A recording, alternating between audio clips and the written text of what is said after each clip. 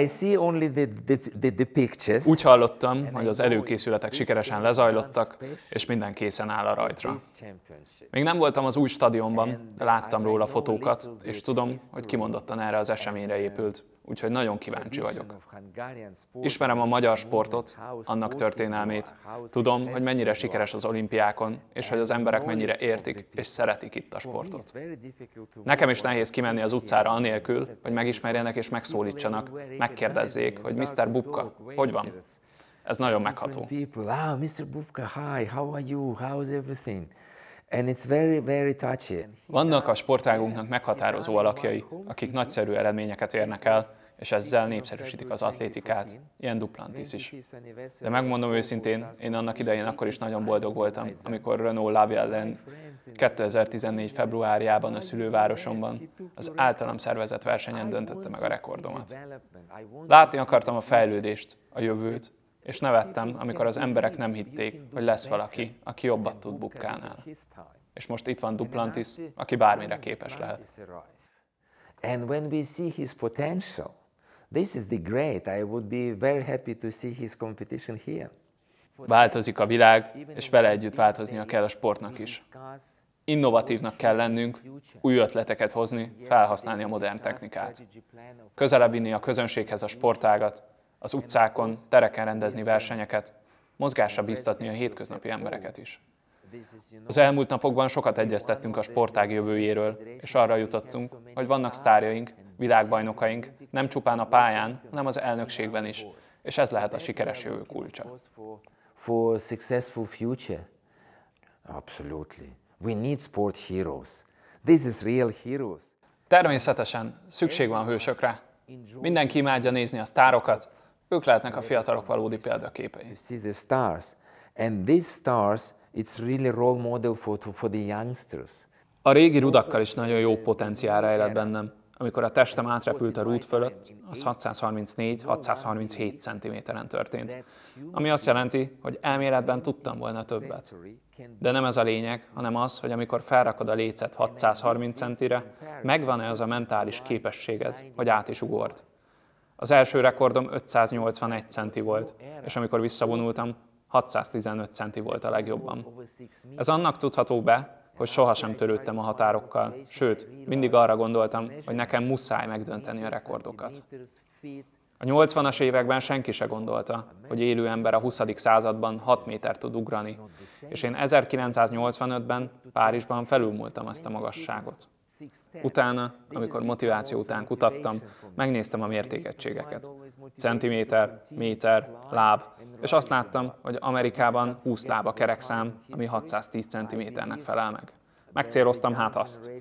De azt hiszem, messze még az emberi teljesítő képesség határa. Simán lehet ugrani 640-650 centimétert is. I don't believe that limits. I think it's like 630, 640, 650 still possible even today. Imádtam a sportot, de nem gondoltam, hogy ennyi mindent el tudok érni, hogy világbajnoki címet szerzek, hogy világcsúcsokat ugrok, hogy olimpiai bajnok leszek, és a világ legjobb atlétája. Minden versenyre azért mentem oda, hogy nyerjek, harcoltam az utolsó leheletemig. És hálás vagyok az ellenfeleknek, mert arra motiváltak, hogy jobb legyek. Olykor legyőztek, és megdöntötték a rekordjaimat, de ezáltal lettem én egyre jobb. A karrierem elején elég volt magamnak bizonyítani, de azután szükségem volt külső hatásokra is. A közönségre. Bementem a zsúfolásig teli stadionba, és egy kicsit művészé váltam, mint a színészek a színházban. Akkor már a szurkolók kedvéért is versenyeztem, nekik akartam megmutatni, mit tudok. És hálás vagyok a közönségnek, hogy általa egyre előrébb és előrébb juthattam. I proved for myself. This is for that I'm very thankful for also for the crowd, for the public. A legnehezebb és legmegterhelőbb nap volt az életemben. Tudtam, hogy mit és hogyan kellene csinálnom, de a pszichológiai nyomás miatt a testem egyszerűen nem követte az agyam utasításait. Teljesen leblokkoltam. Az utolsó 5.90-es ugrás előtt lefeküdtem a földre, hogy kifújjam magam, hogy kimenjen belőlem a stressz. Aztán, amikor nekifutottam az ugrásnak, a negyedik lépésnél azt éreztem, hogy itt van újra az igazi szerhíbukka. Emlékeztettem magam, hogy senki sem állíthat meg. Én most kihozom magamból, ami bennem van. és amikor átrepültem a léc fölött, kiszakadt belőlem minden feszültség. Ordítottam. Leestem, a levegőbe repültem, megint ordítottam, és rohantam, mint egy gyerek. Hihetetlen nap volt. Megköszönöm a jó Istennek, hogy olimpiai bajnok lehetek. Felejthetetlen győzelem, felejthetetlen emlék. In the end, I'm very thankful that I become Olympic champion. This unforgettable memory and forgettable victory. Úriember, az ellenfeleket tisztelő profi. Ezek az értékek nagyon fontosak.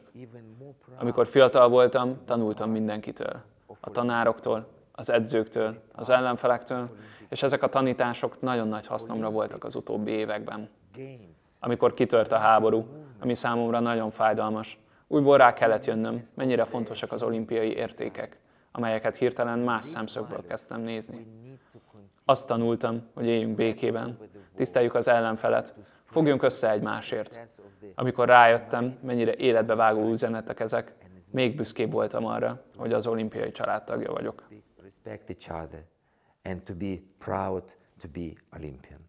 Nagyon fontos. Muszáj segíteni egymásnak, megosztani a tapasztalatokat. Amikor tavaly februárban kitört a háború, és a világ összefogott Ukrajnáért, én is sok emberrel vettem fel a kapcsolatot annak érdekében, hogy segíteni tudjunk a gyerekeknek, a fiatal és idősebb sportolóknak. El se hinné, mennyien válaszoltak a hívószavamra. Egy bökkenő volt csak, hogy nem tudtam adományt küldeni Ukrajnába. És akkor találkoztam az elnökükkel, Gyulai Zsoltal, akitől megkérdeztem, lehetne hogy a MOB fogadja ezeket a csomagokat, és továbbítsa nekünk Ukrajnába. Rögtön igent mondott, ami hatalmas segítséget jelentett akkor, mint ahogy az is, hogy vendégül látták a sportolóinkat az edzőtáborokban. Tiszta szívemből mondok köszönetet ezért. Zsoltal most arról beszéltünk, hogy lehetne még több közös programunk, mert az iskolákban a sporton keresztül tudjuk megmenteni a gyermekeket ezekben a nehéz időkben.